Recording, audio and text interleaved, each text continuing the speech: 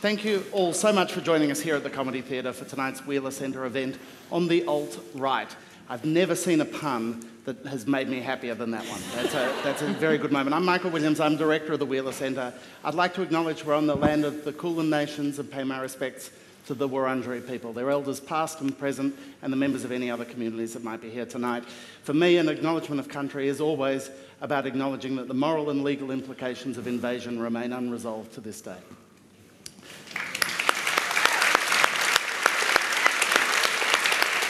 I'm going to sit because I don't know what to do with my arms. So I'm going to just so talk amongst yourselves. Okay, that bit's done. That was less awkward than I was worried about. Uh, now, I don't know if you've noticed, but outside these four walls, outside this spectacular theatre, everything's gone to hell in a handbasket. It's, it's pretty shit out there. Bad people are doing bad things and they're getting away with it. And so I imagine you're all here because, like me, you take refuge in the words of wonderful writers. And we have four extraordinary writers with us this evening. Brit Bennett's debut novel, The Mothers, was one of my highlights of last year. Uh, it was an extraordinary debut. It wouldn't come as a surprise to anyone who'd followed her essays before that. She is one of the National Book Foundation's 2016 Five Under 35 honorees. She is 26 for those keeping score at home. Uh, her 2014 essay for Jezebel, I Don't Know What to Do with Good White People, was unflinching and incendiary. It was also shared and read more than 1.6 million times. I should reassure you, Brit, this is a Wheeler Centre crowd. There's not a single good white person here. they are deeply unpleasant. Please give her a very unpleasant Melbourne welcome.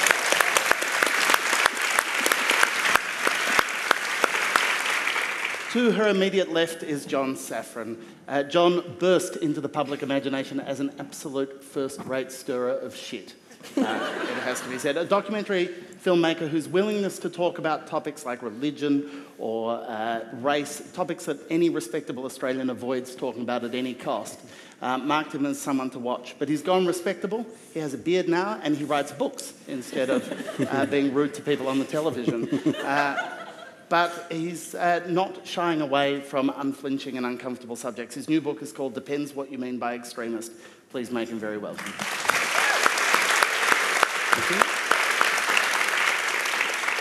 Now, one of the things I know about John is he is an obsessive and very competitive Scrabble player. And I'm kind of kicking myself that we didn't set up tonight as this kind of showdown between John Safran and our next guest, Roxane Gay, who can do a thing or two on the tiles, I understand. that came out worse when I said it out loud. In my head, it was fine. Sorry about that. Uh, whatever Roxane turns her gaze and her writerly skills to is razor sharp and as incisive as it is insightful. Uh, whether it's her novel An Untamed State, her celebrated collection of essays, Bad Feminist, her latest collection of short stories, Difficult Women, or her upcoming memoir, Hunger, not to mention graphic novels, comics, any number of things. Also, just taking down trolls on Twitter. Whatever she does, she does it with aplomb, and uh, she's deeply compassionate and has a strong sense of justice. Please welcome Roxane Gay.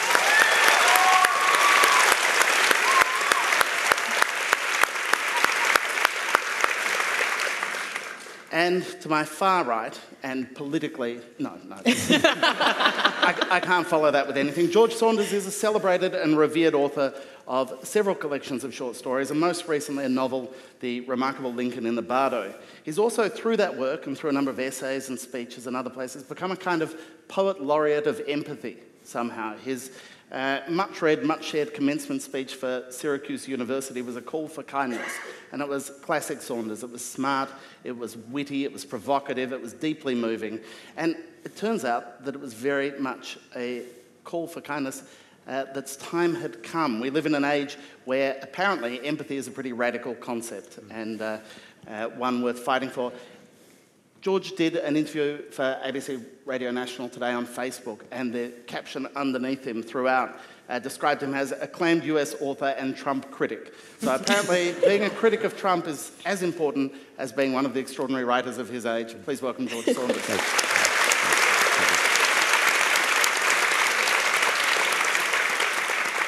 Now, I might start with you, Brit, um, because I read an interview you, with you where you said that uh, in no small way, you uh, owed your success as a writer to writing about the Black Lives Matters movement. And that was both professionally incredibly exciting, but personally incredibly sad, that bittersweet thing that this was the subject that catapulted you into attention.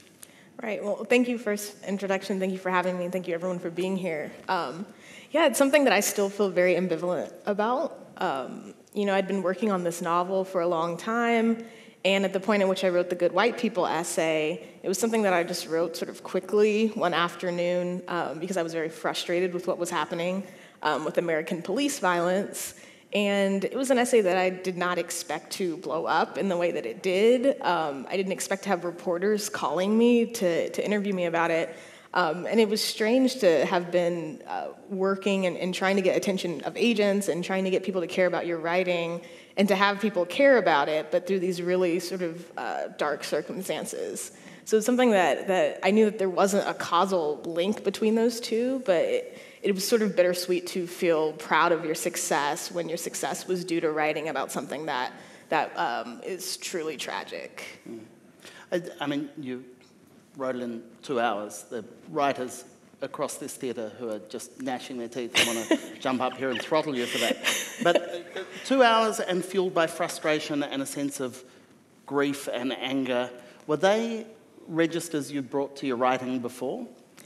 You know, I don't, I don't know actually. I mean, I, I'm not really a nonfiction writer. I'd been working on fiction for longer than I'd ever worked on nonfiction, and it was a form that I didn't even think I was particularly good at. Um, but I just, I remember I had a, um, I was sort of ranting with a friend because this, this white girl we knew in grad school, she was congratulating herself for, for not calling the police on these black students who were partying with loud music. And she was like, Yeah, like, this is my contribution um, by, by not calling the police because I knew what could happen if I had called the police. And I was just thinking to myself, like, we live in a college town. Like, all of these kids are obnoxious. All of them are partying with loud music all the time. You don't get a cookie for that. Um, and, and, I started ranting with to one of my friends who is white about it, and he was like, "Yeah, just why don't you write something about it?" So, so I think it, it came out of that that space of frustration. But I started to think about all of these sort of connections in my own life between what was happening um, in America and the story of my own family. I have a lot of people in my family who are in law enforcement, but have still been victimized by police. Mm. Roxane, I know that you describe yourself first and foremost as a writer of fiction rather than a writer of nonfiction. Uh, why is it fiction you gravitate towards to write when clearly you have a lot of real world things you want to say? Because fiction is my first love. It's the first genre I ever wrote in. Uh, like Brit, I've been writing fiction most of my life. I'm new to nonfiction, which most people don't realize, but I wrote my first essay in like 2009. Well, not my first essay, but the first essay that really did anything. Um, and I wrote it in two hours. And um, two hours. That's the secret. That's, yeah, that's the secret. it was the careless language of sexual violence. And I had read this horrific story about a 10 year old girl in Texas who had been gang raped. And the New York Times wrote an article about the town and how the town was suffering. And I thought, no, the child is suffering. And I just was moved to say something about it. And with that, uh, the dam burst, and I realized oh, I have a lot of opinions, and uh, somehow people were telling me we are interested in your opinions. Uh, so it's been an interesting, but the challenge is that my nonfiction, which is what I'm most known for, is about really difficult stuff and really depressing stuff, and that's fine because the world is difficult and depressing right now. But that's not the entirety of my creative offerings, and it's really hard as a woman of color um, for people to expect you to be the sort of go to for everything related to women of color. You know, today I got an email from a reporter in Sydney who um, is very invested in um, the ethics of the fashion industry. And I, so I wrote her back and I said, you know, I'm really busy and I'm going to decline because this is just not something I'm super interested in, even though I care about how our clothing is made. And she wrote back and she was like, I would really beg you to reconsider. This is a feminist issue, blah, blah, blah. And so I snapped at her over email and I was like, you were talking about clothes I'll never be able to wear. Like, this is not something I'm interested in. And so it, I, with fiction, I can write whatever I want. With nonfiction, people expect me to be a vending machine for every single liberation cause, and it's a, a lot. The, you wrote that two hour essay. I'm fixated on the time. I've taken longer than that on text messages. But you wrote that essay, you said, because you were moved to write it. Yes. I mean, you write fiction because you, it's your first love and you love it. But is that the difference here? Is there a, an emotional push or a rhetorical push that was driving you to nonfiction that you think people responded to? There's a rhetorical push, absolutely. And there's an urgency with nonfiction. Like sometimes there are things happening and I can't say nothing. Uh, for so long, especially during my 20s, I was really apathetic about pretty much everything. And uh, I, I don't know, as I've gotten older, I've started to recognize that there are other people in the world and that there are these really serious issues that affect other people. And so I feel obligated to write about them. With fiction, I am engaging with the world as it is, but I have so much more freedom. Mm. And there's less urgency in that nobody's gonna like sit around waiting for a Roxane Gay story. but people uh, generally will knock down my door for me to respond to some shit that happened three seconds ago. uh, so.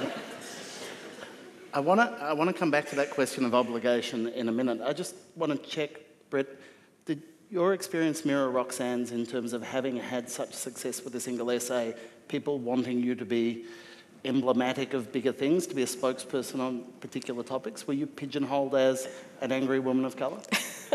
I mean, yes, I'm certainly, I'm sure not to the extent to which people hound Roxane for these types of pieces, but I remember when Sandra Bland was killed, I had a reporter immediately ask me um, for a piece about it, and you know, I generally feel I don't, because I think because I feel so at home in fiction, I don't feel uh, compelled to write essays just because. Um, and, you know, I felt that that story was a tragedy and I felt moved by it. But I think they expected a certain perspective from me as a black woman. And I felt like I didn't have anything new to particularly offer besides the fact that I was outraged and saddened. Um, but that the fact that I saw, I could sort of see the reporters sort of go through the like black woman Rolodex of like, okay, who can we, who can we ask? Um, which you know again that's that's not where I really necessarily see my work. Um, so I, I, you know I, I, think definitely not to the extent of, of people like Roxane, but certainly I, I, felt I started to feel that I was kind of becoming somewhat of a go-to for those types of topics. John, do you think people come to you when they go to their uh, whiny provocateur politics? Is that a uh, no, but because my work addresses issues, I feel uh, uh, you know, as soon as you bring up issues, they expect you to be very didactic and about the issues. And uh, I wanted to say, I'm going to talk about exorcisms, then I'm going to talk about Jon Stewart, and it's not going to make sense at the start, but then I swear it will make sense, at least in my head. That I, I once uh, spent four days with an exorcist and in America filming, and he was beating people with a Bible, and everyone was writhing on the floor, including me, screaming. And uh, yeah, it was, it was great. And then I got back to Australia and I talked to a few uh, therapists, like just non religious people, atheists who are like, uh, uh, what do you call the ones that aren't psychologists? No, psychologists. And, they, and I, I was expecting them to like diss it, you know, like be going, oh, that's ridiculous, you should kind of do regular psychology and therapy and stuff like that, that's dangerous. And they said, no, no, no, no, it's good. It's like, it, it's really healthy to scream and get it out. And that's like as good a way as any. That's a really good way to scream, is to have an exorcism. And I kind of feel like, like comedy writing is a, a way to scream in, and, and, and really healthy. That's, uh, so like in, in, the case of Australia at the moment, like I walk to uh, a protest around Islam and anti-Islam and there's like riot police there in this gear and there's people marching around with swastikas and there's God, then you turn on the radio and, you know, there's been a terrorist attack and you know the terrorists left the Charlie Hebdo building. Then they went to the kosher deli to target some Jews, and I'm Jewish and stuff. And all this mad stuff's going on, and I just feel like telling stories. It's sort of yeah, it's like a, a healthy way to scream, which is a lot different to how people see satire. And that, like for instance, Jon Stewart. Jon Stewart is hilarious. So I really like him, but he's ruined everything.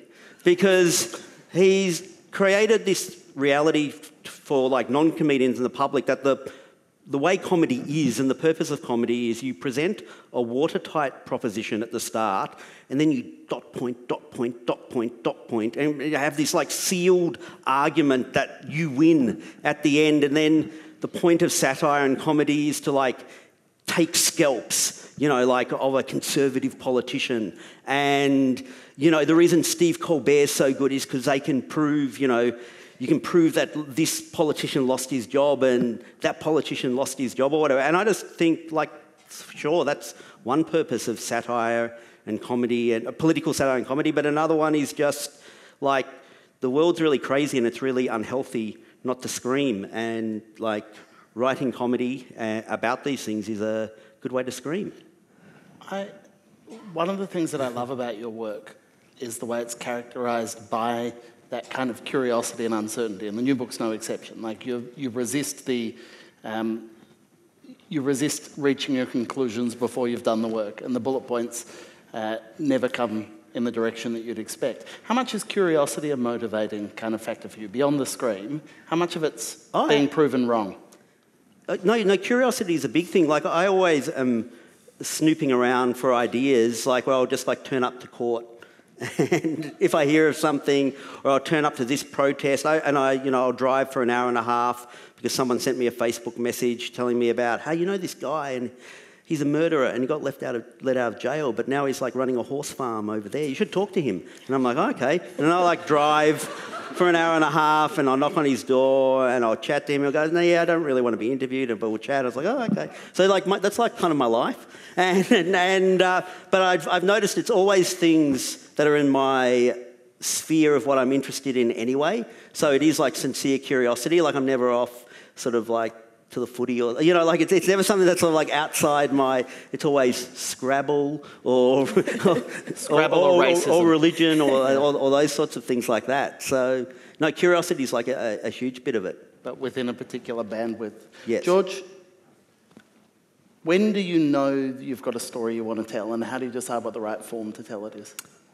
Well for me i just it's verbal there, there's a voice that i can hear or uh, there'll be some funny incident or that just I can't shake loose. So my, my theory is always to start with the smallest thing, that almost like a seed crystal, a little bit of dialogue or phrase, and then the, this is the tricky part, is to try to get rid of any kind of agenda about where it's going. Just start with the phrase and play with it on a verbal level or sometimes a comic level and just wait for it to sort of reveal itself. And so that's the hard thing, especially in times like this when I, I have a lot of agendas I'd like to work on at the moment, but I know that if I do that, the, um, the pieces tend to fall a little flat. There, there's a great, um, can I, we can swear? We can yeah. swear? Okay. Uh, this American poet, Gerald Stern, says if you start out to write a poem about two dogs fucking, and you write a poem about two dogs fucking, then you wrote a poem about two dogs fucking. so for me, part of the trick is I have a lot of political ideas and a lot of moral ethical ideas, and if you just do that, then you're you've disappointed everybody. Einstein up, upgraded it a bit, and he said, um, "No worthy problem is ever solved on the plane of its original conception." So if I bring my political baggage in and dump it on the reader, it's a disappointing thing. What makes the the current moment difficult for me is that there's so many things that have to be said, and even if we say them really well, it's probably not going to help. And so, to turn away from that responsibility in the name of aesthetic power seems sometimes selfish. Actually, I think it's the only way to proceed. If, if you're going to write something that isn't persuasive and lies flat on the page, you might as well not do it. But it, it puts a, a, writer like me in a sort of a, a, a difficult position, I think. Do you, I mean, is that more cut and dried when it's explicitly political baggage rather than moral or ethical baggage? I mean, if, so Lincoln in the Bardo, the image of Lincoln cradling his son was something that stayed with you and you wanted to write about. Yes. Does that immediately carry with it conclusions that you have about what that image might mean, what we might feel in confronting? No, I mean the hope. It, it, there's a feeling of fullness and of curiosity. You, you, ooh, that's really sparky, and I don't know why. That's the best case. But then sometimes what happens is you say, oh, that's cool because of. And for me, when I fill in that blank, the energy drops a little. So the trick is to kind of keep, almost like on a date, you know, you, you don't go on a date with index cards and, you know, 7.30, ask about her mother. You know, you, you really want to go and see what happens. And I think that's, that's the thing. But in, in the political sense, one of the things that I, have, I wrote a piece for The New Yorker about the Trump campaign and traveled with them. And the tricky part was just that all these years of writing fiction has, uh, I think, somewhat trained me in this move where you occupy this side of the table very passionately, and then you run around to the other side and occupy that side, which I think is healthy for a human being, it's healthy for writing. But then when you see that on the other side of the table, there are people who are deliberately or unconsciously, whatever, doing harm, real harm, fast. Uh, you kind of you feel like you might be enabling by being too empathetic, which I don't actually believe, but I certainly had that feeling writing that piece that I'm bending over backwards to understand and rep- represent people who aren't bending over backwards to understand and represent people. So. I, uh, that was the thing I wanted to ask. Is one of the great bits of analysis, possibly not great, about last year's US election was oh, the left had a failure of empathy. They failed to understand the experience of these disenfranchised voters. And you never hear the right having that same kind of self awareness, the failure of empathy to, uh, to people unlike themselves and ex- people whose experiences don't match their own. Yeah, if, Hil- if Hillary, if Hillary had won, you wouldn't have heard a lot of thought pieces. We should have known more about the elite. Yeah. That you wouldn't have read, though, you know. but uh, that's the thing, is empathy at some point overrated as a commodity, Brit? Oh, that's, I mean, I, I agree with what George is saying of, uh, you know, I, I, feel the same way, and I think that's what the Good White People essay was about was was trying to strike that balance and, and trying to uh, appreciate people having good intentions. Um, as a person, I want to think about that. People, I want to like live in a world where I think that people are in, intending good things. Um, but what do you do when faced with that reality of, you know, police are shooting unarmed people? Do their intentions matter at all? Um, so I don't know. I, I, I I sort of struggle with that too, and I, and I think there's a way in which the sort of, you know, all of these really empathetic um, pieces about Trump voters that come out all the time, um, the fact that we are called to empathize with Trump voters, um, it's something that I definitely, uh, I'm really sick of reading and seeing, to be honest. Um, you know, the, the idea that I am asked to empathize with a person who questions my humanity or questions my, my rights to exist or my rights to have freedom, um, that is something that I, I reject. I, I, don't even know if I would consider that empathy.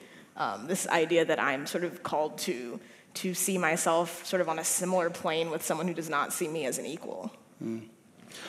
Roxane, one of the articles you wrote in the run up to the election for the failing New York Times, sad, uh, was, uh, had the headline, uh, Will this change anyone's mind? It was after one of the debates. Yeah. I mean, is that the question as someone who's trying to write in that context that you have to apply to yourself as well? No, I didn't write the headline. Ah.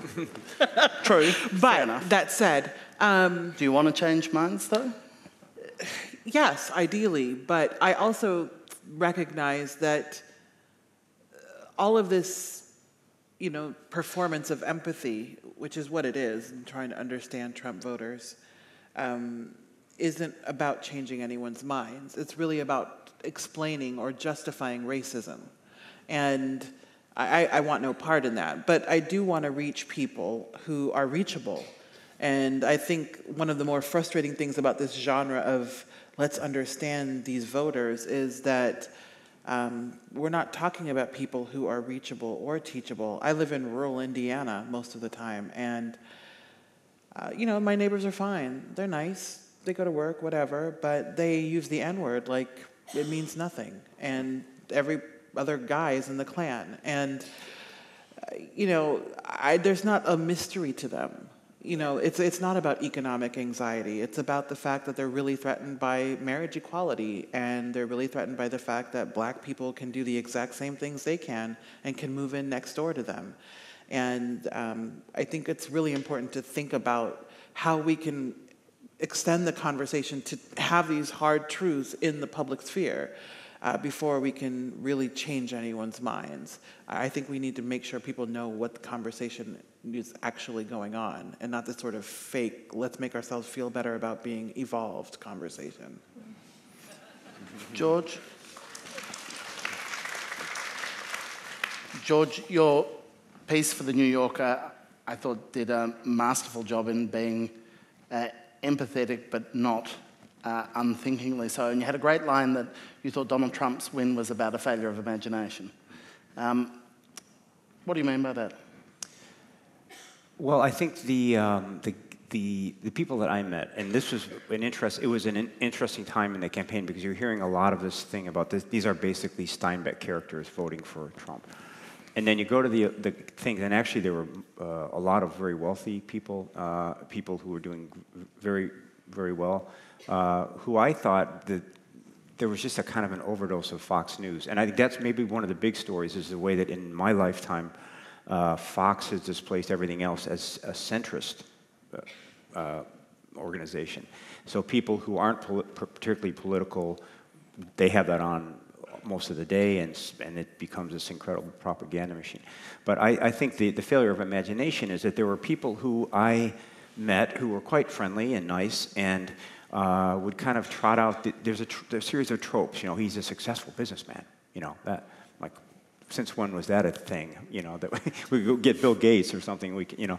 Um, but, but, but there was a series of, of tropes that they would trot out, and what became glaringly obvious was that they weren't able to connect the, the campaign and the dog whistling and the, the racism and the uh, xenophobia with actual people who would be affected by these things. And that was the really frustrating thing. And the closest I got to sort of breakthrough moments was when I could summon up an actual, for example, uh, a young Mexican American woman who, who, who, I'd met, and I could kind of tell the story. And you would see a moment of, of breakdown, you know. Uh, so that's why I say, if you, in, in, I think the beauty of fiction is I can tell you a story about someone who's not in your sphere of influence, and you can have the simulation of actually knowing the person, and it changes you. Uh, I think there was a failure of that. There were, the, they weren't imagining that there were victims on the other side of this rhetoric, and that was disappointing, you know. And, and it was doubly disappointing because they weren't people who, the people I met weren't prone to cruelty at all. They, they protested quite the other way. I love everybody. Everybody's my brother. Uh, so you almost thought if I could just pick them up and move them into this room, it might, some percentage of them would have been, uh, I don't know about persuaded, but softened maybe by that, you know. Mm. Or at least just pick them up and shake them. Yeah, yeah. They're also big, you know. They're, no, no, no, no, no. no I, and I, I should say, I have a lot of people in my extended family who vote for Trump. So for me, it's a, it's a the, the game I've been playing the whole time is to make this incredibly Willy Wonka-esque machine that you put in six percent. I don't like Hillary. Four percent. I watch too much Fox News. Three percent. I'm a racist. And you know, you you you turn the dials, and you can always make a Trump supporter come out. You know, but but that at, at, the end, it doesn't. At this point, it doesn't really matter. It's just sort of an algebra that doesn't doesn't do any good. I don't think. An everlasting gobstopper of hate. That, yeah. nice but but I will say I do believe in uh, not persuasion maybe, but softening the borders between people. Because I, I heard Zadie Smith on the radio, and she said, I think the story was that her uh, in-laws were they were uh, Brexit people, and and she said that the way, the way she approaches it is to think of every person as a multiplicity. And sometimes, okay, if, the, if, the, if you're talking politics, that group comes forward and you can't make progress. But she said when they're talking about the grandkids, a different set of, multi, uh, of individuals comes forward. So that's the thing I try to keep in mind is that people are fluid, and someone who seems like your enemy on Tuesday and seems intractable the hope is there could be some kind of conversion, even if for, for a couple of seconds. But I got zero converts with this method. zero converts. I think I actually hardened some people's. Uh, he is a real liberal. What an idiot! You know, what a sucker. Yeah. yeah. Job well done. yeah, yeah. Thank you. Uh, John, uh, your latest book is in some ways a reflection of uh, a similar phenomenon, which is going and spending time with our very own homegrown basket of deplorables, to use a particularly uh, resonant and possibly precise, possibly imprecise phrase. Um, how much did you have to reserve judgment to make writing the book possible? I mean, these are, these are in many ways loathsome views being expressed and horrible people, but you seem to go in kind of open. Oh, it's just because, especially like, just say I go hang out with some neo Nazis and they're like offensive to Jews, it's like it's not like it's like what did I expect? It's not like, like oh my God, I, I can't even. they are But I I just found that I don't know, and I guess pe- you don't know what you don't know until you kind of go out there and you can just find out these things that, oh, didn't occur to you. So, one thing in my book, there's a bit about how on the far right, when I turn up to the first rally and I've been promised all these white nationalists and it's all about whiteness, and then I notice that one of the guys from the far right who's up at, the back of the ute at this protest and he's trying to, he's going Aussie, Aussie, Aussie, oi, oi, oi, and I can't help but notice he's not a skinhead. You know, he's, uh, I find out he's a Sri Lankan guy, and not only that, he's got a very rich accent, and it's because he's a recent, a relatively recent immigrant to Australia.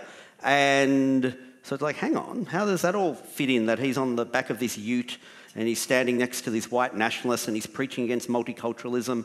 And then, I, I mean, the easy answer, if you don't go any further, is just to have this one. It's like, oh, he's trying to be like a white person or whatever. But I kind of, kind of followed him down the rabbit hole because uh, I found out he was a pastor, and he'd brought a, along his congregation, and they were also recent immigrants, a lot of them from a- African countries and Asian countries, and some Indian people, and you know, and I- then I followed him to his church, and I spent time with him, and he's like a huge, like, sincere evangelical Christian who believes that the Messiah is, you know, going to come. It's within our grasp, and he's been spoken to by God to.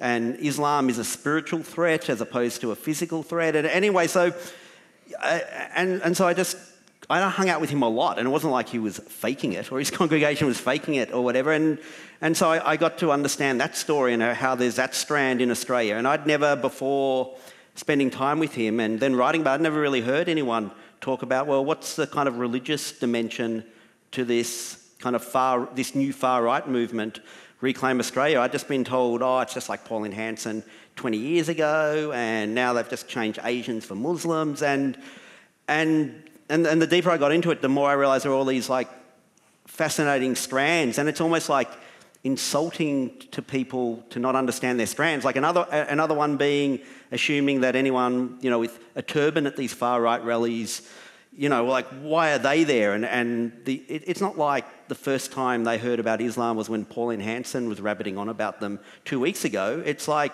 if you go back to India, you have these storylines that go back hundreds of years before Pauline Hanson's maiden speech, before before the White Australia policy, before Captain Cook came to Australia. It's like the, the Sikh community and the Muslim community in India have their own storylines together, and the Hindu community and the Muslim community in India have their own storylines together and their frictions and, and good things and all that stuff like that. And then people immigrate to Australia and those sort of like storylines somehow fuse into this. So, uh, yeah, and it just seems like it's good, not bad, that sort of like you go out and sort of like try to understand these things. But yeah, uh, yeah.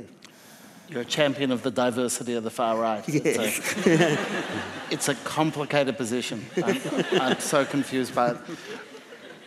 Roxane, one of the things you write about that I really love, that I think is really important and interesting, is about precision of language and about uh, one of the great degradations of US politics in the past little while is the way in which language is used uh, unwisely. And um, how much do you take your job as a writer to be the kind of counterweight to that?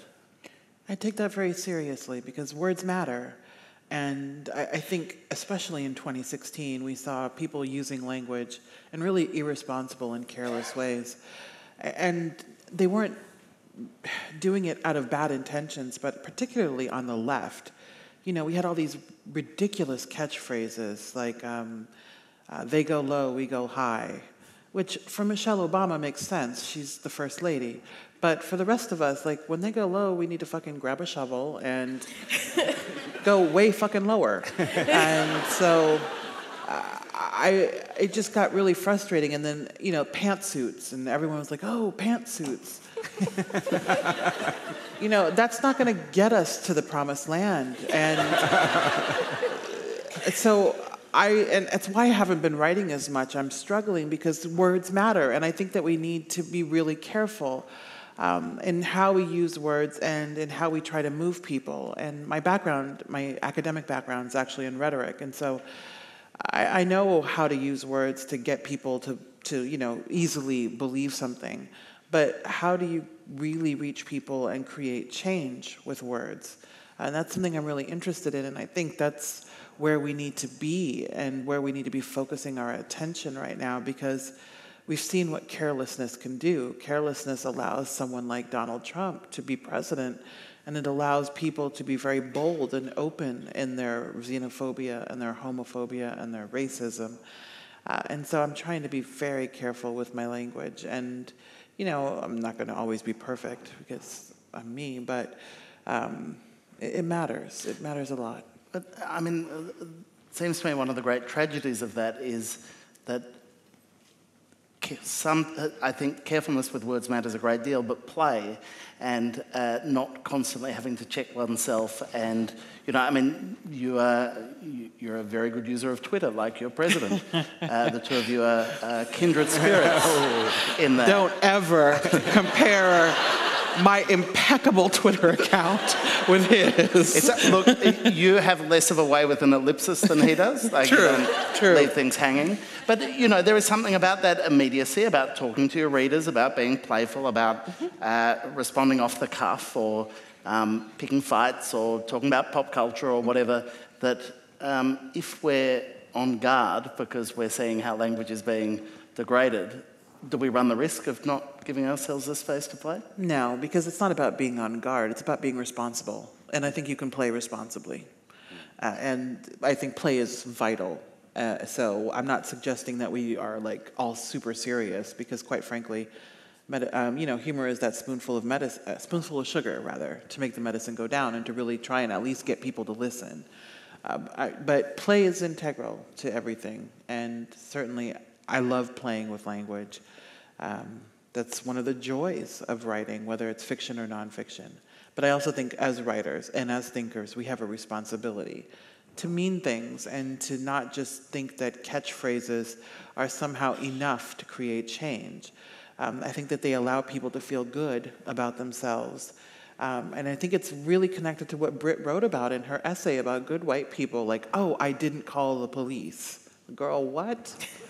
No, that's nothing. That means you wanted to, you asshole. uh, and so, if we're more responsible with language, hopefully fewer people will think that empty gestures mean something. They don't.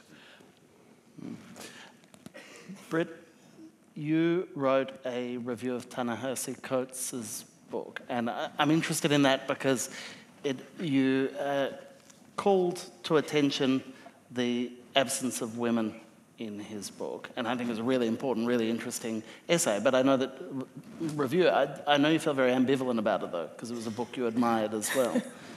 Is that hard to do? I mean, yeah, I, I, haven't reviewed a lot of books, and this was a book that was a humongous book. Um, and I remember feeling very nervous about writing it because I knew it wasn't going to be any type of a takedown. Um, but but I still felt like I was sort of you know throwing a pebble at Goliath a little bit with my with my critique. Um, you know, and I also I hate critiques that that just sort of focus on what something isn't because I find that really unhelpful too. Um, but at the same time, I rem- remember reading the book and, and just seeing the ways in which he often framed the suffering of Black women um, in, in a sense of sort of black women are suffering because they see the pain of black men. And that was a framing that I had heard my entire life. Um, you know, the sense of, oh, well, slavery was actually worse for black men, be, you know, because, yeah, black women were raped, but, but they had to watch that happen. So they were the true victims. Um, and Ta-Nehisi Coates does not go that far with his, with his argument, but there was this sort of through line that I that I, I noticed in the book, or at least the way I read it, with in the ways in which sort of black women's pain was was um, kind of uh, only only sort of had meaning through the suffering of black men, and, and I think that has been one of the uh, one of the problems of uh, the way that we talk about Black Lives Matter. Um, where mo- often people will just say the, sh- the shooting of unarmed black men, and it is true that disproportionately black men have been killed, but black women are still a victim of police violence all the time. Mm. Did you get um, particular blowback for having a kind of uh, slightly more challenging perspective on it than people might have expected? Uh, no, I was I was glad about that. I didn't Yeah. I didn't know. Um, I saw uh, Shawnee Hilton at BuzzFeed wrote a um, a review also um, raising some of the similar questions. So I was glad that I was in company of other Black women who were kind of like, well, we have this to add. Um, but yeah, I think it's you know this was before my book had come out, and I, and I just didn't want to be sort of this. Um, you know, this debut writer who was taking a shot at Ta-Nehisi Coates. Um, but, but yeah, I'm glad that, that I think the review had some nuance, so p- people didn't read it that way. Is that a, I mean, Roxane, is there a thing when you um, adopt a position that, given that you have such a following who um, hang on your every word, do they expect certain things from you? Like, do you, do they get cross when you zig and when they expect you to zag? Absolutely, it's a lot of pressure. Um, they think because they've read a few essays that they know my opinion about everything. And so when I have an opinion that doesn't fall in line with what they think feminist doctrine should be, should be or when I just say something like that they don't agree with, trust me, they hear it. In fact, oh my God, every day it's so shitty. Today, I got an email from a woman who was at my event in New Zealand, and she was like, I was at the microphone and we ran out of time, but I need to be heard on these four points. Oh my God. Four points. yes, and she gave me the list, and I was like, what am I supposed to do with this? Like, I needed to be heard. Like, girl, if you want to be heard, write a book.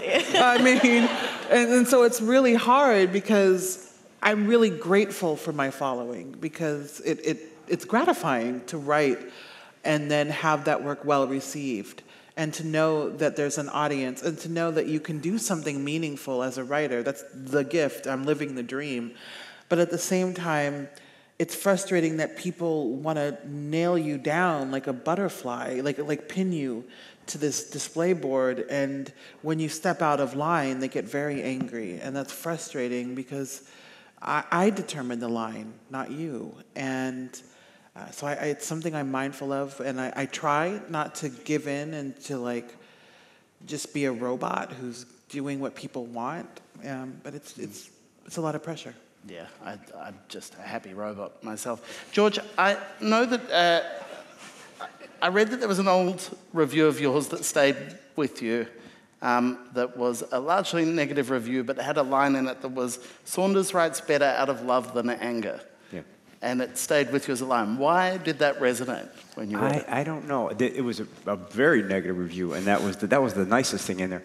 Um, but you know, sometimes I think we, the um, for review, positive or negative, I think you just sort of open yourself up to it, let it hit you, and then you know do whatever you have to do, and then a few things will stick that are helpful. And that one, um, I was in a, a period. This was during the, the Iraq War, and I was doing a lot of kind of political writing that I felt was less interesting than my fiction, but I felt compelled to do it. And I was writing out of anger. And when I read that review, I thought, yeah, one of the one of the things an artist has to reserve is the right to do whatever the hell she wants. And also, the, you have to reserve the right of art to be useless, which is hard to do in a time like this. To say, I'm, I, I reserve the right to make a book that has nothing to do with the political situation. That's, you know, and, and there's a critic named Dave Hickey who said um, that when we, when we fall into this uh, trap of saying what art should do, it's just one step to the reactionary coming in saying, oh, this is what art must do. And then yours isn't doing it, so please, you know, go to the gulag. So I think part of, part of the game is to say, um, I, I want to write in the way that sort of elevates my artistic self. In this case, I found that if I can summon up affection for an imaginary person, I write better, actually. I write funnier. I actually write more in a more edgy way if, I, if the first move is one of curiosity and some form of love, even if the person's pretty horrible. Uh, and I think that's just a tick. You know, I don't think it's anything universal about it, but uh, Flannery O'Connor says you can choose what you write, but you can't choose what you make live. So that's, you know, the first burden is you have to make your prose fill up with light by whatever means necessary. And that reviewer just reminded me that when I go out to nail somebody, my work is less interesting than if I set out to, uh, say, like or love somebody. So is anger useful for your work in any way? Not really, not really. What I have to do is, you know, really, there's, in Buddhism, there's a thing called idiot compassion, which is where you're like, oh, you drove a spike through my head. That must be hard for you. Thank you for making the coat rack. You know that, uh, and I have a tendency towards that, which is a personality defect because I don't like conflict. You know, so that means that I have to watch it. I, sometimes I can be um, so enthralled by my own empathy that the that I'm actually under describing the character. I'm, I'm giving a free pass when a, a more m- mindful uh, approach would make the character pop more, you know? So I think that's something I, I just know about myself, that I have to, um, if sometimes, in other words, sometimes I have to simulate anger to get the correct level of specificity to make the true moral. I, I think that, in, to my way of thinking, in fiction, and maybe in nonfiction, the best way to make meaning is through an elaborate system of contradictions so you say this about A, and then you come over and say a slightly different thing, and then the third thing, and then the supreme artist just goes, that's it. You know, Chekhov, for me, Chekhov is somebody who does that. And he, he doesn't do the, he doesn't put his finger on the scale, but he just makes a complex reality and says, isn't it like that sometimes? And so, if, so sometimes for that to happen, I have to simulate a little bit of pissed off quality. Which, believe me, I can get very pissed off. I'm no. so, so the responsibility of the artist is to the art. I, th- I think so, yeah. I mean, I think that now all the stuff we're talking about, empathy and uh, causing change, I don't think it happens if the reader closes the book and walks away. So, although we, you know, I think a lot of writers are political animals. They're essentially you. You didn't get the microphone because you were political. You got the microphone because you were charming in prose or whatever, persuasive or energetic in prose. So, mm. you know. Brit, one of the things that characterises the mothers is it seems to me to be at its heart a book about good people or people who want to do good or be good. Uh, how much did you go into it with that as kind of part of the story you wanted to tell? Yeah, I mean, I don't know. I, I, I, I like stories like that. I mean, that's when, uh, like, I love Parks and Rec um, as a TV show because it's inherently about people who are, who are trying to be good. And um, and I think as I started writing the book, I don't think it began that way. I think um, there were a lot of characters that I initially was not sympathetic toward at all, but I think sort of what George was saying, I had to kind of do that that work of looking at that person and all their contradictions and seeing what was really complicated about everybody. And you know the sense that you know everyone is sort of the hero of their own story. So even the characters that are terrible they can justify why they're terrible um, so uh, for me ha- i had to do that work of sometimes just writing pages in the point of view of this person and, and thinking about their life and figuring out how they came to be the way that they were um, and even if the end result is not really this heroic arc um, i wanted the characters just to be compli- uh, complicated people um, and you know, I'm glad that you said that you felt like they were all trying to be good. Um, but but yeah, I really wanted them just to be complex. Roxane, please shoot me down if you think this is an unfair characterization. But your fiction seems darker to me than lots of your nonfiction. Like even though your nonfiction is dealing with um, often difficult, complex, distressing ideas, you allow yourself more levity, it seems to me, in your essays than you do in your stories? I think it depends. You know, I think that whenever a woman writes about difficult subjects, she's called dark. And, um, uh, you know, as much as there is darkness in my fiction, there's also hope and light. You can't have one without the other. And in most of my fiction, you have characters, and mostly women, who are trying to find something better for themselves. And they're oftentimes coming from a place where they've been through something challenging. Uh, I think it's easier, I prefer to be dark in my fiction or just true because that's what calls to me. And that's where I find the most exhilarating stuff to write. Um, and I write for myself, first and foremost. With my nonfiction, the world is a dark and complicated place, but we already know that. And I don't think we need to be beaten over the head with that. And so I do use a lot of levity and humor and play in my nonfiction uh, simply because the world is hard enough and we don't need to make it harder. Um, so, yeah. Mm. Should be clear in your fiction, beyond it being dark, the darkness is about. Uh, there's great beauty. Like it, it seems important to you to show the kind of capacity for beauty in people. Do you feel like that's a part of the artistic project for you? That that without that, there's less point. Yeah, definitely. I think what I'm really exploring is just the depth of what people endure and what life looks like uh, for different people. I'm always interested in the lives of others. I'm super curious, and you know, whenever I meet someone, I file away bits and pieces about them, and uh, they just build and build in my head, and sometimes in a file on my computer called um, beginnings and endings. I don't know. It is what it is, uh, and. Um, I start to take pieces from this file in my head and on my laptop and think about okay, who is the person who has this quirky thing and how did they come to that place and what have they been through and who do they love and how have they been hurt and what do they want most? And I, I think all of that is beautiful. I think looking at life and in its best and its worst forms can be just gorgeous. And I love the ability to write that. That's just why I do it. Um, it's just so joyful. As weird as that sounds, like, hey, here's a story about a kidnapping. I had a lot of fun writing it. but, I've met some kids. That... You know, sometimes things happen. Um, but it's just being able to tell a story and take my own breath away uh, lets me know I'm on the right track. So Roxane writes first for herself. John, who's your ideal reader for your books? Who's your ideal audience?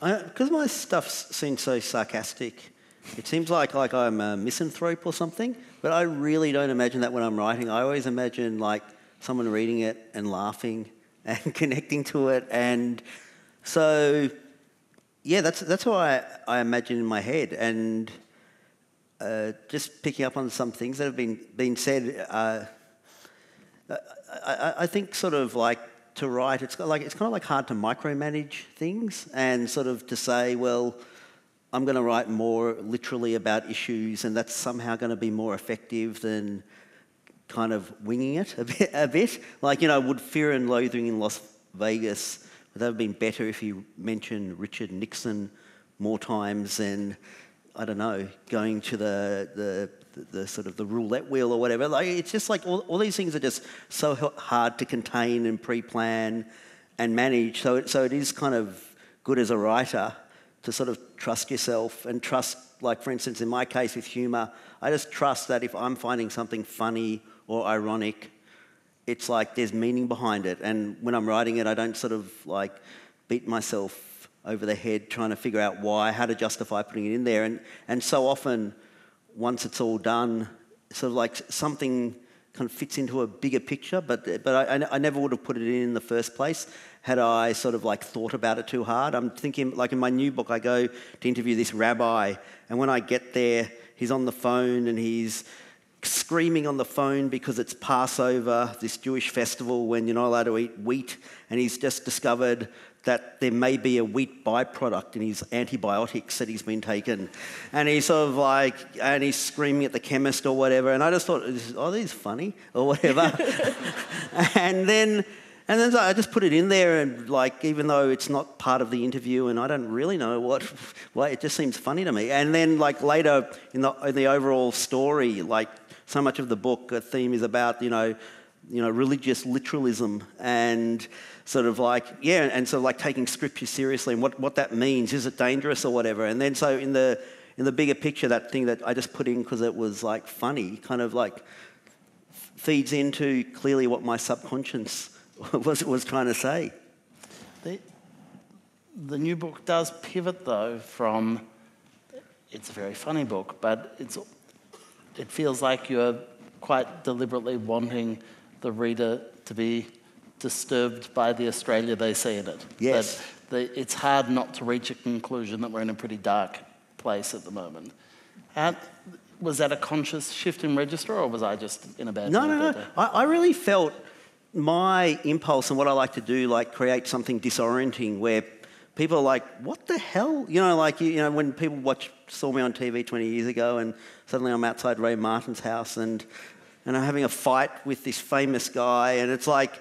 Not the pol- like the whole thing's just so weird, and then I get exercise on TV. It's like, what the hell's going on? And I really felt that thing that I love, this kind of um, disorienting thing where is, is like what's floating through Australia and the world definitely, but Australia at the moment, where just because of all these things, you know, like suddenly Trump's elected and that's like really weird, and, and then we're hearing about terrorist attacks, and then just and everyone not knowing how to talk about it. It seems like everything's just in this state where like it, it's like Australia's kind of now synced up with the, that, that, sort of like disorienting thing that sort of like I, I like to create. So I, I, definitely did in this book think, oh, I can make that super relevant. And there's this Aussie film, which I'd never seen before, but I'd heard about, called Wake in Fright from the 70s. And I, I just happened to watch that as I was starting to write this book.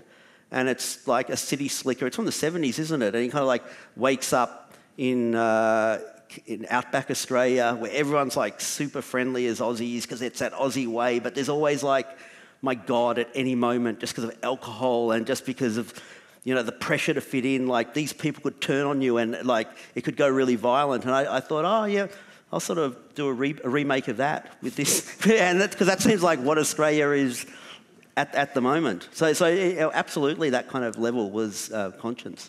Wake in Fright 2017. now, I imagine out there in the darkened theatre, there are many of you with questions for the people on the stage. Yeah, I was terrified. I ran down here from the back row because I thought I was going to be the woman sending my four points through. um, but my question is uh, the present feels kind of a bit terrifying, increasingly uninhabitable. And I'm wondering if you have thoughts about the future. Like, is there hope in the darkness? No, no, no. Yeah, I think so. I mean, I think, you know, I, I was having a talk with a friend uh, after the election, and uh, she said, well, very sweetly, she's older, and she said, just, I, I was there the year that Robert Kennedy and Dr. King were killed within the same year. And she said, so the world has always been crazy. And I think that for me, the biggest enemy of a progressive mindset right now is that we are, I think, a little spoiled maybe. So there's, we've, I mean, in my lifetime, there hasn't been any real knock on wood, catastrophic things. So when, it, when something happens, we might be inclined to think it's the first time, and I think that's fine for a while, but then it, be, it, it becomes our enemy if despair uh, shuts us down. So I, I, I, have a lot of hope. I mean, things are still beautiful and people are still good, and I, I, think it's all right. You know, we can, but only if you fight. You know, if you fight and insist that truth is truth, cruelty is cruelty, oppression is oppression. None of that has changed, and so uh, people who would show up in an event like this have a great responsibility to believe that that life is still beautiful and insist that it be so. I think you know. You historically have written a lot of things set in the future, and yet your first novel. Uh, is resolutely set in the past. Is that an impulse against the time? Are you, is no, there anything I, no. deliberate, or it's just no, I just I heard a great story 20 years ago that I really wanted to tell that happened to be in 1862. So I just yeah. yeah. Anyone else on optimism? No. Wow. no, no. Th- thank you. It, it's Monday. You people have to get through the week, so don't don't let this bring you down too much. We're going to take a question over this side. Um, you're all people that we read for insight into how the world is and how it might be who would you who else would you all recommend that we read like who, who do you get insight from either fiction or non-fiction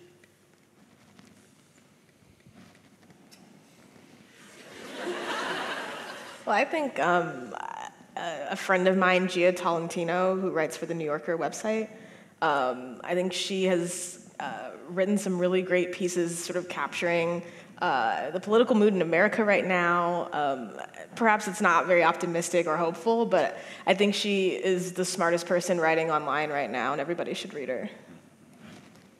I'm a big fan of Samantha Irby, who writes.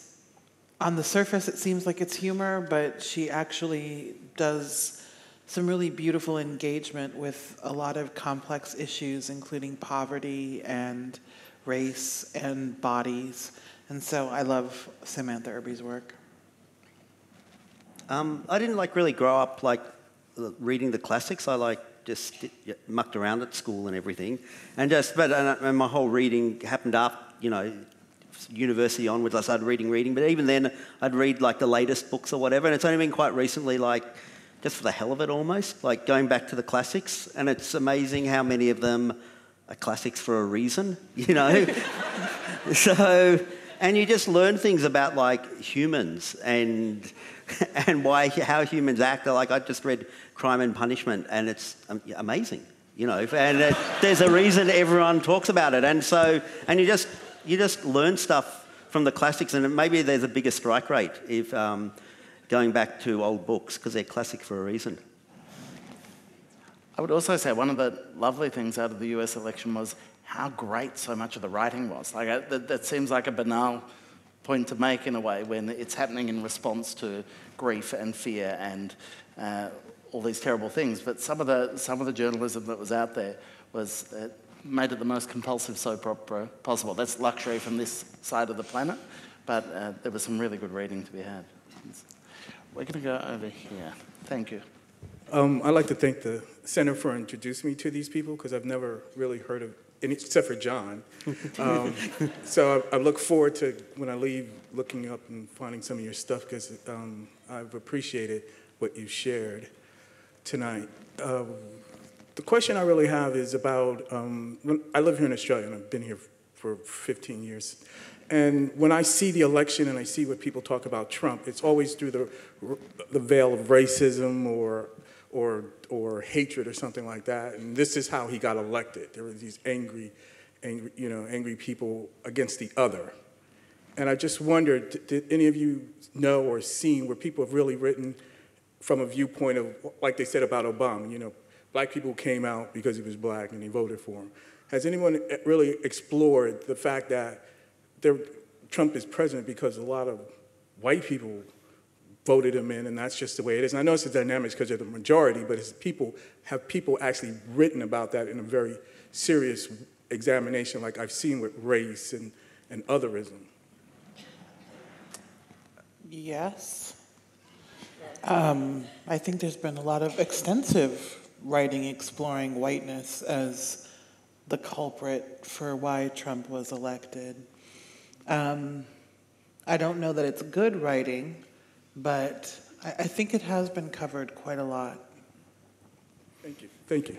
The, uh, I mean, there is in, in the narrative of that election outcome, there are questions about, about race, about colour, but also obviously about gender mm. and about class.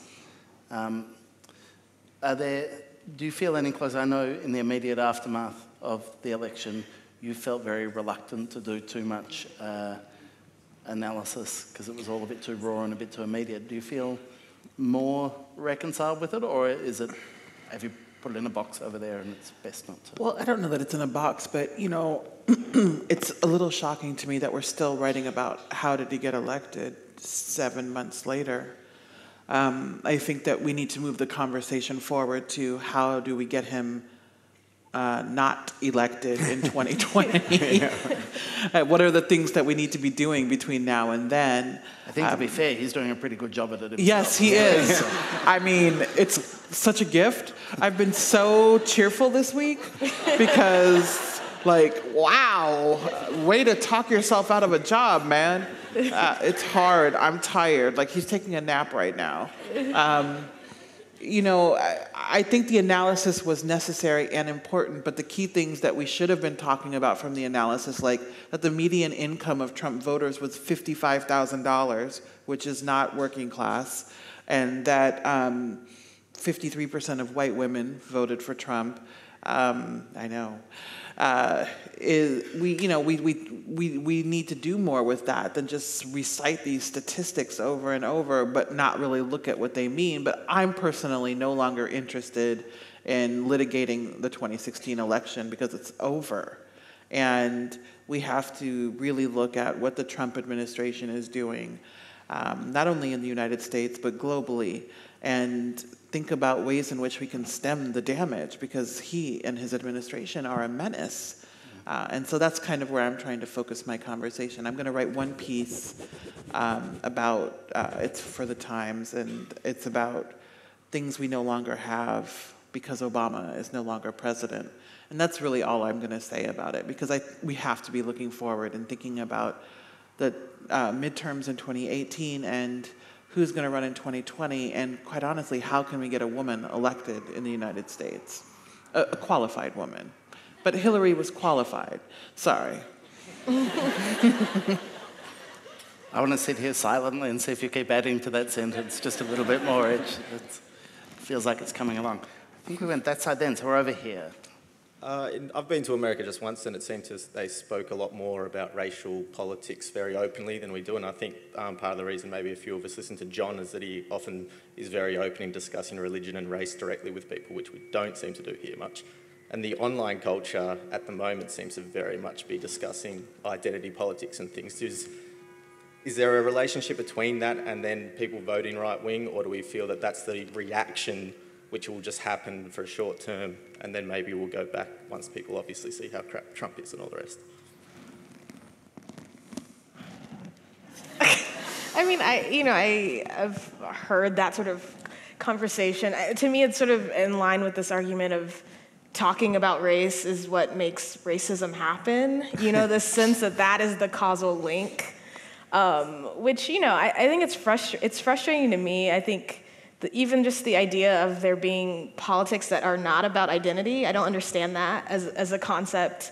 Um, you know, a lot of these things that are considered identity politics, um, you know, I heard someone throw out marriage equality in that category, and it's like marriage equality that's an economic issue that you know it, it's not just about sort of identity categories um, so i don't know. I think that a lot of the trump thing i do think it is a backlash often to that conversation of the people who feel like if we just didn't talk about race racism would go away. Um, i also just think it's a backlash to having a black president. I don't think it's any coincidence that what all that trump has done so far has, has basically been to undo obama's legacy.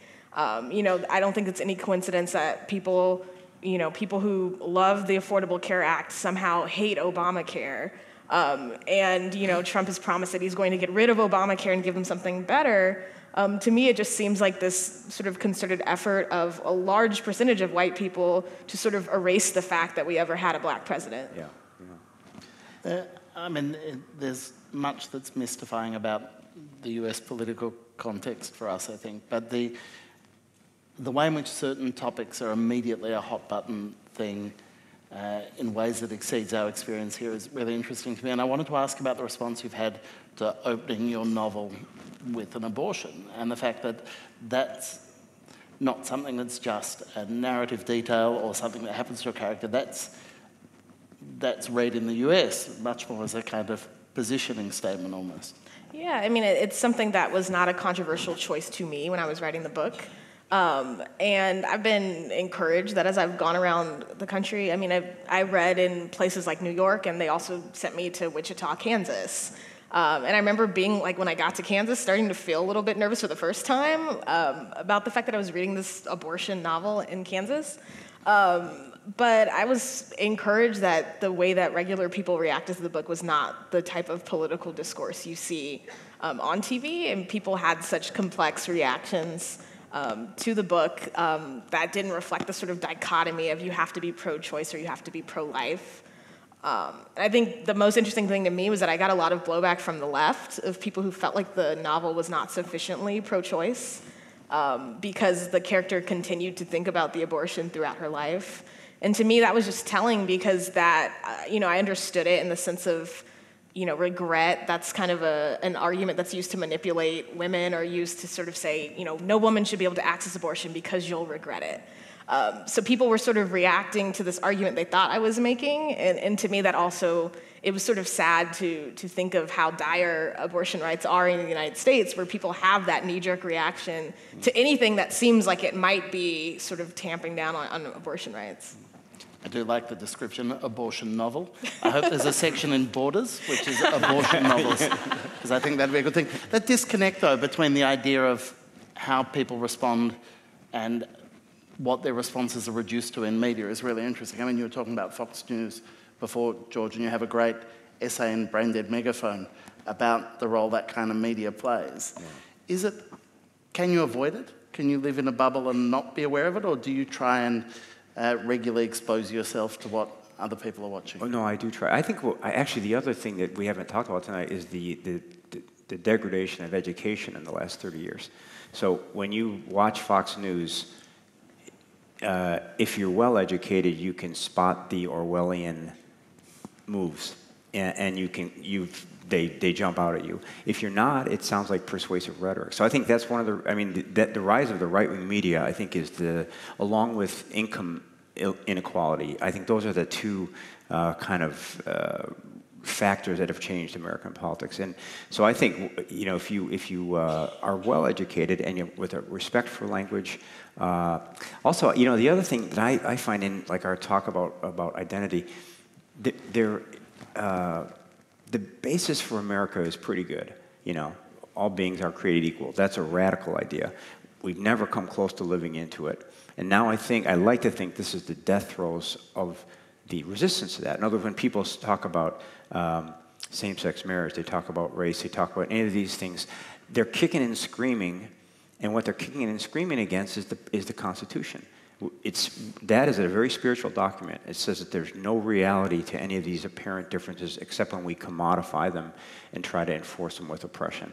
That's, that's an idea that's very radical. And when you have a population, uh, a, a, a white privileged population that's always gone along floating on that cloud and now has to come out and say, oh, we really do mean everybody.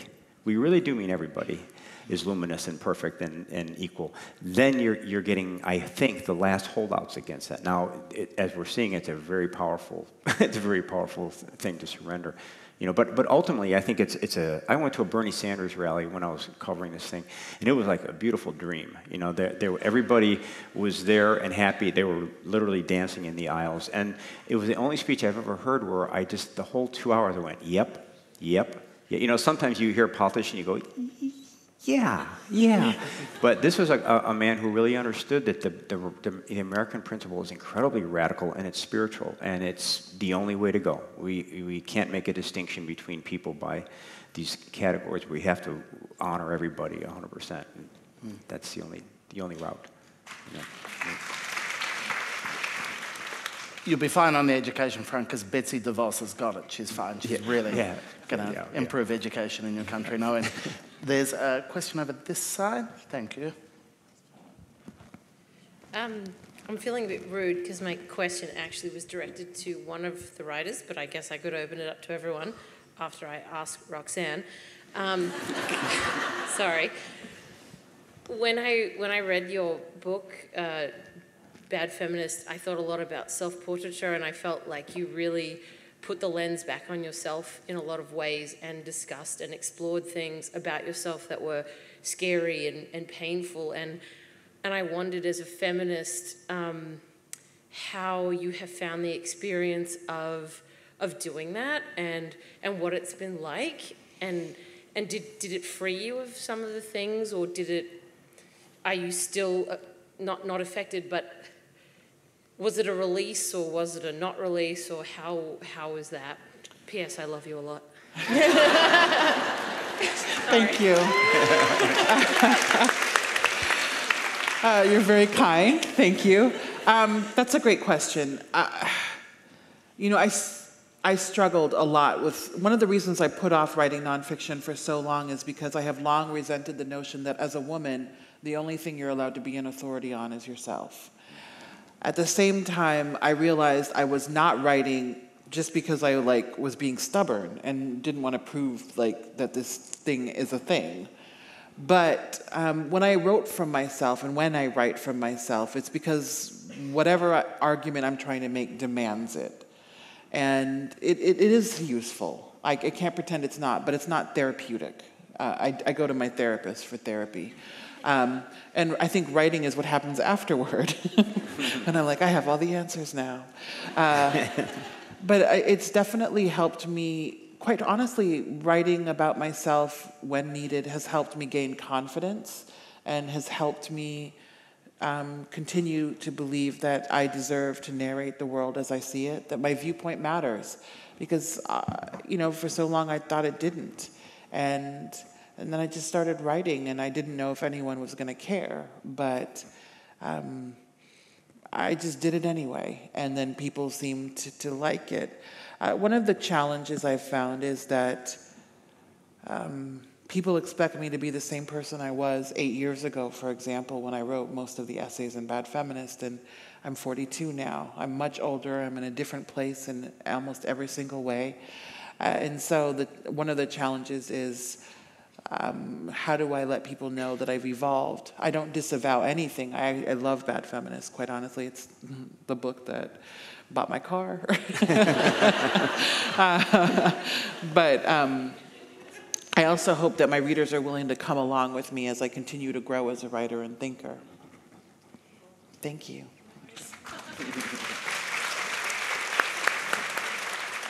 Over this side. Hello. Um, I have a sense that my question might be a bit provocative, but uh, I hope that uh, I mean it in the most, uh, with a, in a sense of curiosity and um, openness. But uh, Whoa, I would scary have. setup. I would have. I, I was um, just Roxane. What you said before, the notion of um, Hillary Clinton being a qualified woman. Um, I would have. Call, I would have potentially um, described the last election as a failure of identity politics. That it wasn't enough to um, maybe explain the things that are happening in the world. Um, and that while Hillary Clinton is a qualified woman, she's also a woman of power, of like the aristocracy. Um, and I feel like a class-based politics is coming uh, back a little bit in how people talk about it and how people are trying to understand it. Um, and I just wonder whether how you all see um, a materialist politics, uh, how you see its place in um, modern America and uh, how you might use it or not to explain the world you're in. I, I mean, I, I, I think, um, you know, I think it's really important to talk about class. I think what is frustrating me about that conversation is class is often conflated with whiteness. Um, in the sense of the sort of work, white working class voters, like I'm fascinated by this West Virginia coal miner that has been summoned as a sort of stand-in for this like uh, rustic white masculinity. Uh, I remember reading online somebody was talking about how in West Virginia there are three times as many black people who live there than coal miners. But nobody's talking about black West Virginians and who represents their interests. Everybody's talking about the West Virginia coal miner. Um, so I think, you know, I think um, talking about class is, is really important, but I think there's also a way in which it becomes a stand-in for whiteness, or even, you know, Bernie Sanders, um, you know, recently um, was criticized because he supported an anti-abortion candidate who he considered progressive, um, and he said, you know, well, we can't really have this purity test. We have to be very pragmatic, and we don't always, you know, people might not agree with us on every issue, but we should still support them, blah, blah, blah. But at the same time, I don't understand how you can be for economic justice if you don't support reproductive rights, because again, that's an economic issue. You know, you can't control your economic future if you cannot determine when and if you are pregnant, right? Uh, but the idea of that not being an economic issue because that's a women's issue or that's an identity issue, you know, I think that, that, that's what I think what frustrates me just about that conversation is because I think class, at least in the ways in which it is evoked now, nobody's talking about the black working class and what their interests are. You know, it, it becomes a stand-in for race in this really uncomfortable way. Uh, absolutely. I mean, when people say, why don't we lead with class? We can't look at any aspect of identity in isolation. That's not how life works. You're never just marked by class or gender or race and ethnicity or sexuality or ability. You have to look at the whole thing. And, uh, you know, Hillary Clinton was an elitist, sure, we can go there. But uh, was she? I mean, c- compared to a billionaire? Like, yeah. how is this a thing? Like, that yeah. she's still excoriated. Um, to be frank, there is not one single person in American politics that isn't part of the elite because mm-hmm. It is so expensive. It generally costs now around a billion dollars to run for president in the United States. Senate races cost anywhere from three million to a hundred million dollars. I mean, these are absurd amounts. And so we really have to rethink the entire political system if we really want to have a class-based revolution. Um, but when people bring up Hillary Clinton as this sort of devil um, figure, this person who represents everything that's wrong with materialism, you are overlooking every single white man who has been in politics from the beginning of time.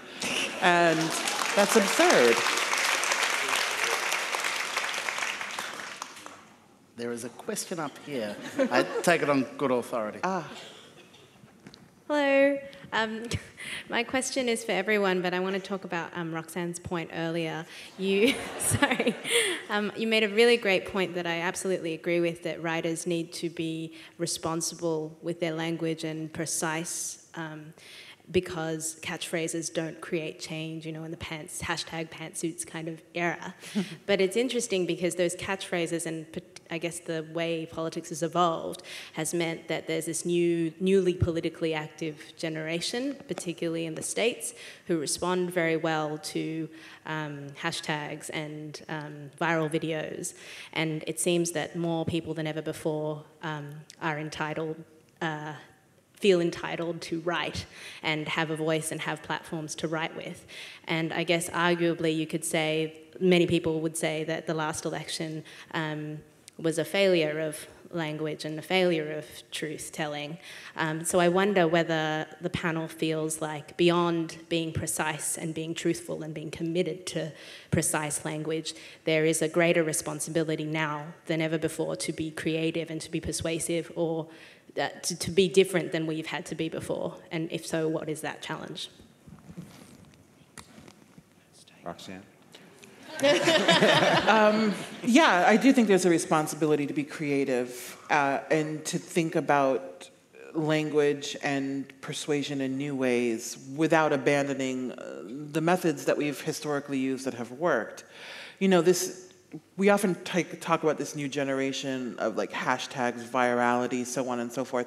I teach college, and um, you know these things are true, but it's a gateway, and it's a question of okay, if we get someone's attention with a hashtag, what do we do to capitalize on it?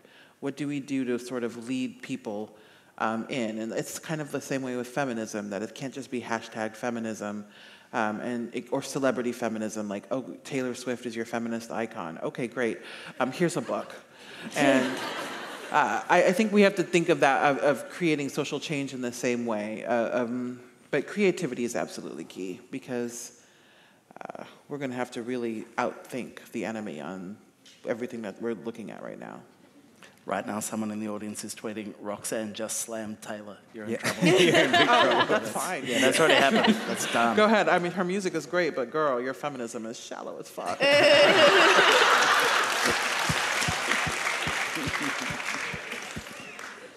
George, you, you teach writing. I don't want to weigh in on Taylor right now. Damn it, George. yeah, yeah. Hashtag gutless. Uh, you teach writing. Are you, uh, your students, are they more politicized now than they have been in previous years? Do you yes. find yes. they want to make a difference with their writing in a way they might not have in the past? Yeah, I think, I think maybe they feel more uh, struck by how difficult that is. You know, maybe a little. I mean, you know, what I was thinking about language, and think about that phrase, make America great again. Hmm. That is an amazingly diabolical phrase. And it's, and it, but it unpacks beautifully. America was great, you remember when. Mm-hmm. Remember, brother? You know, that, that's the subtext. but I didn't see, I, until late, I didn't see a nice takedown of that, of that phrase. And by that time, it was already in a million homes, and people were, and, and it, it lands on people in so many different ways. What, whatever you think the American racial nostalgic dream is, you go right there even in spite of the fact that it did never exist, and in spite of the fact that when America was great, there was a bunch of people suffering. So, so that's a um, that's why I say a failure of education because in a more articulate culture, we would have called that shit out right away.